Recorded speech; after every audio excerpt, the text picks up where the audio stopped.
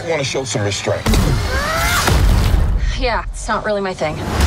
I'm so grateful that we have Sam back with us. He's my favorite scene partner. What is this? The Shield logo Does announcing your identity on clothing help with the covert part of your job? said the space soldier who was wearing a rubber suit. Brie is amazing. I love working with her. Seeing them together was a huge country moment. I was like, oh, Marvel icon has just walked onto set. For this movie, we got to deepen our dynamic. Now we're just allowing ourselves to have fun.